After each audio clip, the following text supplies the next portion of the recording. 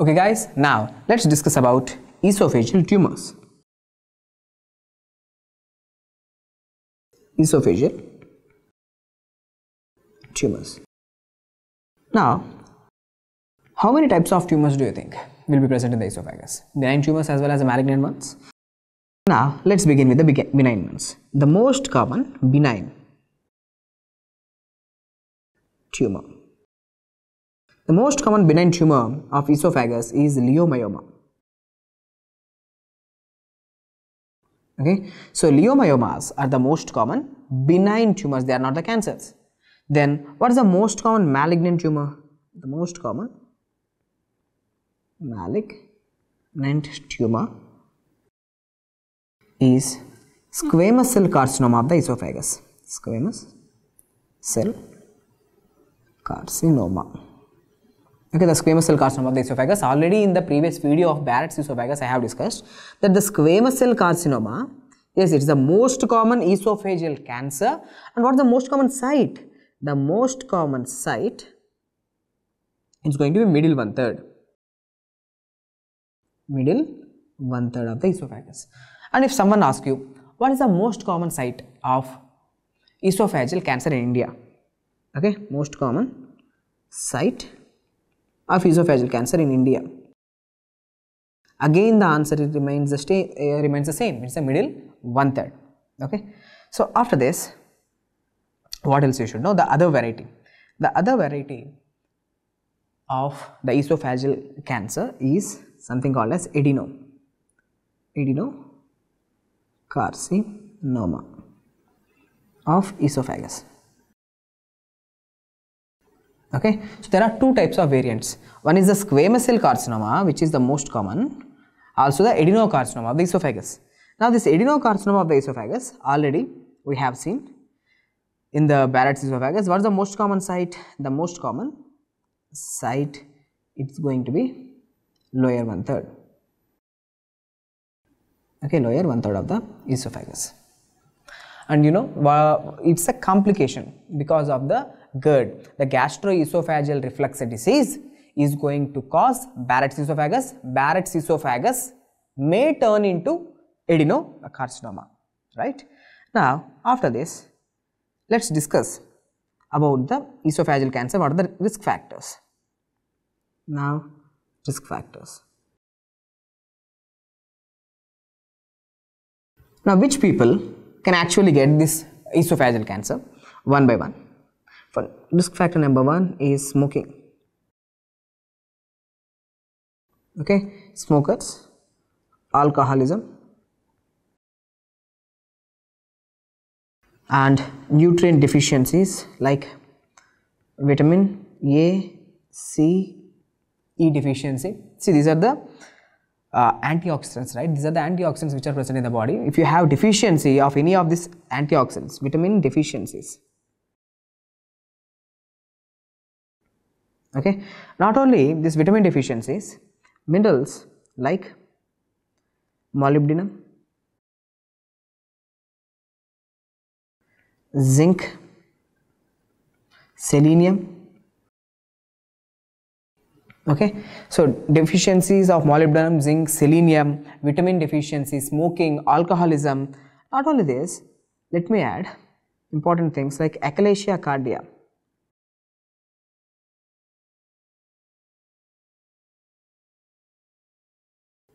okay? I hope you still remember what we have discussed about the achalasia cardia where the uh, relaxation of the lower esophageal sphincter is not happening properly. Okay? So that the patient is having dysphagia. There is progressive dysphagia we have discussed right? So achalasia even in the topic of achalasia cardia also we have discussed. Having achalasia cardia increases the risk of esophageal carcinoma. Next. 6 barrett's esophagus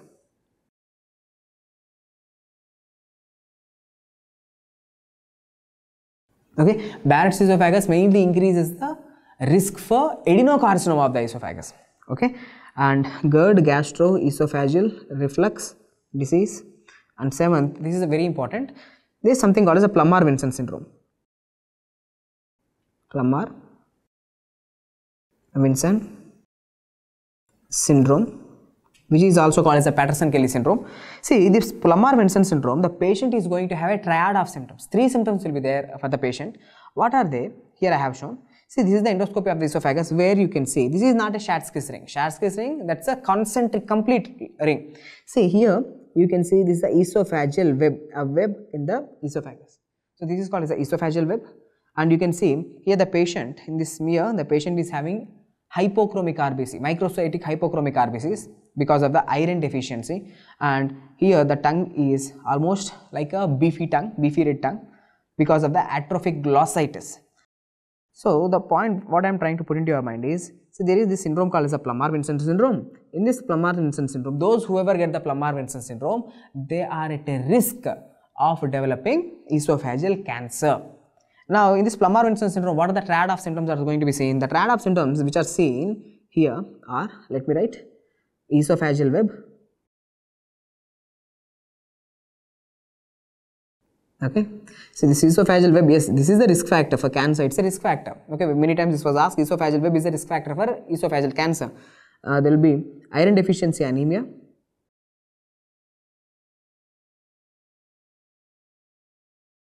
Okay. Along with that atrophic glossitis. The patient is going to have atrophic glossitis. Okay? Now any other risk factors?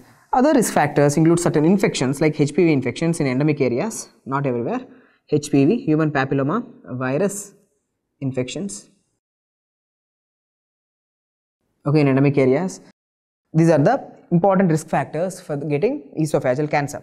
Now, whenever you do investigation, the investigation, uh, whenever you do the barium swallow, here you can very clearly see here this is the normal esophagus. This is the normal esophagus with the normal lumen. Barium is consistently growing through the, going through the lumen, but here you can see a space occupying lesion. So this is the area of the cancer. Okay, this is the area where the cancer is present. This is the area of the cancer because of the space occupying lesion. So now down to it the barium is flowing down and it looks like a rat tail, rat tail. So esophageal cancer is going to show rat tail appearance, okay, and barium swallow. Let me write here. Okay, investigation on barium swallow. There will be rat tail appearance.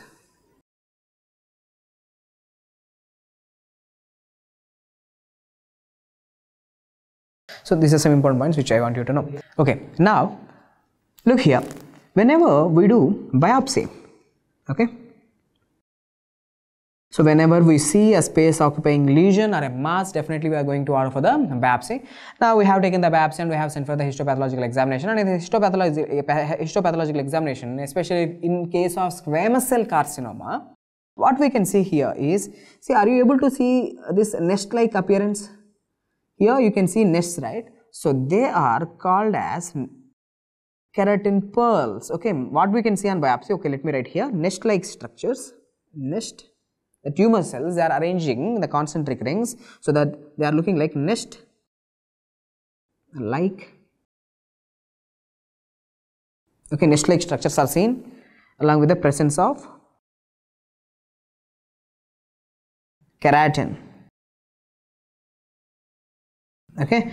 Why? Because the keratin keratin is a marker. We have already discussed keratin is a marker of the epithelial cells. Okay? Epithelial cells. So keratin pearls or the keratin is a marker of the squamous cell carcinomas also. Okay? And what else you need to know uh, regarding this squamous cell carcinoma of the esophagus? In squamous cell carcinoma of the esophagus let me write here. Squamous cell carcinoma of the esophagus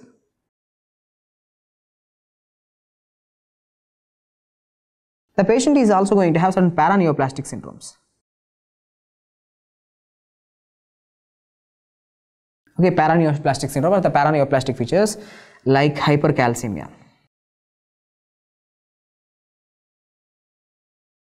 Okay, the patient can experience the hypercalcemia because this cancer, this esophageal cancer might produce parathyroid hormone related peptide okay something similar to the parathyroid uh, hormone so this parathyroid hormone we know it increases the blood levels of the calcium what I'm trying to put into your mind is if a patient, okay, if he develops the esophageal cancer, okay, if he develops the esophageal cancer, especially squamous cell carcinoma of the esophagus, these cancer cells, they usually produce different different types of hormones.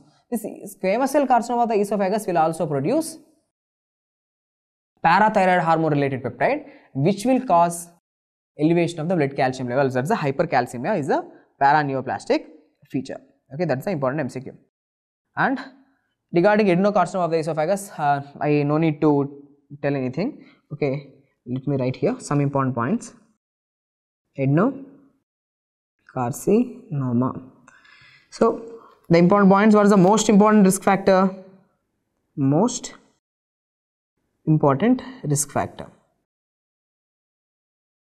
already you know it's a Barrett's esophagus and GERD. First GERD leading to Barrett's esophagus.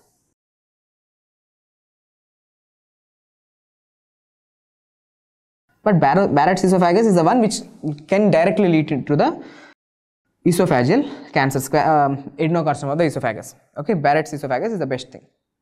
Okay, but how you will get the Barrett's esophagus is because of the gastroesophageal reflux disease. Now, which gene mutations can actually cause this adenocarcinoma of the esophagus? Let me write here. Gene mutations seen are associated. Are P53 gene mutations? Are retinoblastoma RB gene mutations? Okay retinoblastoma gene mutations are seen what is the most common site? The most common site is being the lower one third of the esophagus lower one third and what are the types? How many types are there? See the variants are going to be two types are there. Intestinal type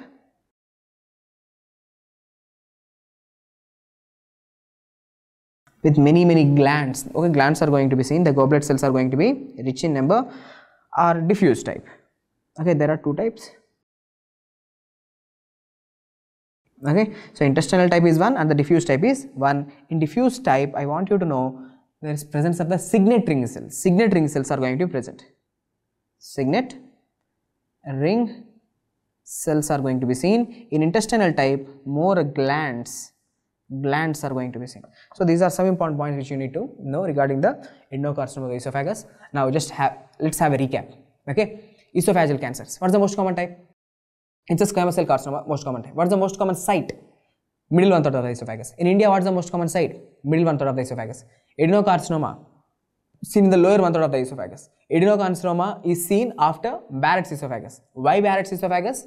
It's because of the GERD, gastroesophageal reflux disease can lead to Barrett's esophagus. Barrett's esophagus can lead to adenocarcinoma of the esophagus. How many types of adenocarcinoma of the esophagus are there? There are two types of adenocarcinoma. One is the diffuse type and intestinal type. Diffuse type, you can see the signet ring cells okay filled with the mucin because that signet ring appearance is because of the uh, cells which are having a lot of mucin and intestinal type you are having lots and lots of glands. What are the risk factors for squamous cell carcinoma? Of the esophagus smoking alcoholism okay uh, zinc deficiency molybdenum deficiency selenium deficiency vitamin a deficiency vitamin c vitamin e deficiency as well as certain viruses viral infections like uh, human papilloma viral infection and this esophageal cancers are associated with those conditions where you have the esophageal web like Plummer-Vinson syndrome where the person is uh, Plummer-Vinson syndrome or the Paterson-Kelly syndrome where the person is going to suffer with the esophageal web, atrophic glossitis as well as the iron deficiency anemias. Not only that, even those people uh, who are drinking very hot substances like a very hot tea, even they are at risk of developing the esophageal cancers. Okay, remember that point. So with this, important points about the esophageal cancer are completed and the different types of esophageal uh, cancers, everything is completed. Hope the video is helpful. Thank you.